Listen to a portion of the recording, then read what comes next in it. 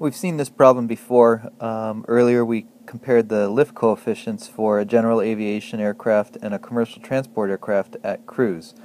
Um, so um, uh, we had the data that I'm showing here already.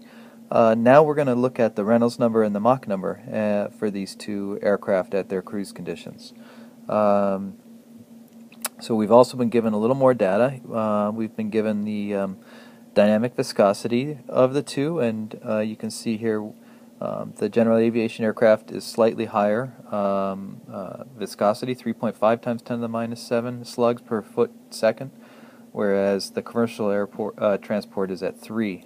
Uh, so that's a ratio of the of 0.86 between the commercial to the general aviation. Uh, so close, but a little bit less for the commercial transport. Um, also, the speed of sound has been given. Uh, for the general aviation, it's about 1.1 times 10 to the 3 feet per second, and um, it's a little bit lower for the commercial transport um, at 9.7 times 10 to the 2.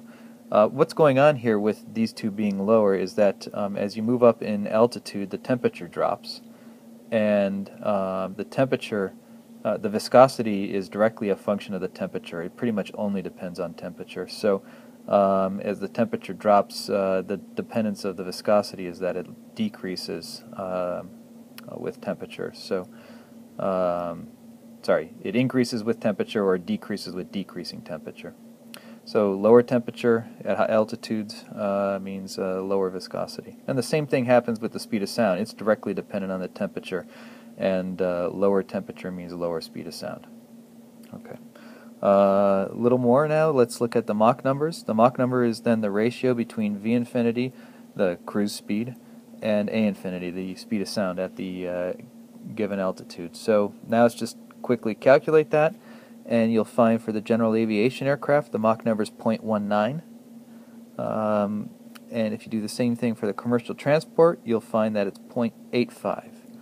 Um, and you can see what's happening here, right? Uh, uh, general aviation aircrafts flying at an altitude where the speed of sound is about 1,000, 1,100, uh, but its velocity is only 200-ish uh, uh, feet per second. So 200 uh, um, divided by about 1,000 gives you about 0.2.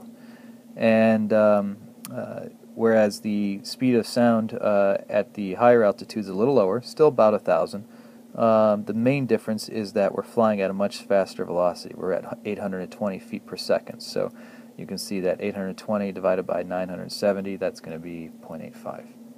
Uh, the overall ratio between the Mach numbers is 4.5. So in terms of Mach numbers, the commercial transport's four, four to five times higher Mach number than this general aviation aircraft is. Okay, then we're also asked to look at the Reynolds number. Now for the Reynolds number, uh, we need a length scale. And the length scale that uh, we're told to use is the mean chord, and we're given the mean chord. Um, it's uh, 5 for the general aviation aircraft and 23 feet for the uh, commercial transport, a ratio of about 4.6. Um, so almost 5. Okay, so now uh, let's go a little bit further and calculate the Reynolds number. Um, so Reynolds number is the density, the velocity, the length scale, which we're going to use the mean chord, divided by the viscosity. So plugging all those numbers in, oh yeah, the length scale is the mean chord. Plugging all those numbers in, 4.7 million for the Reynolds number of the general aviation aircraft. 4.7 times 10 to the 6. And Reynolds number is non-dimensional, just like Mach number, so there are no units here. Um, and we do the same thing for the commercial transport, and you'll find that it's 4.6 times 10 to the 7th. So 46 million for uh, a factor of about 10 uh, in terms of the Reynolds number being about 10 times greater for the commercial transport. So the other thing you're getting to see here is how large these Reynolds numbers are. So even for the general aviation aircraft, you're talking about 4 or 5 million for the uh, Reynolds number. For the commercial transport, you're talking about 40 to 50 million. Um, and these numbers can get even a little bit larger still. So um, that's everything we have for this problem.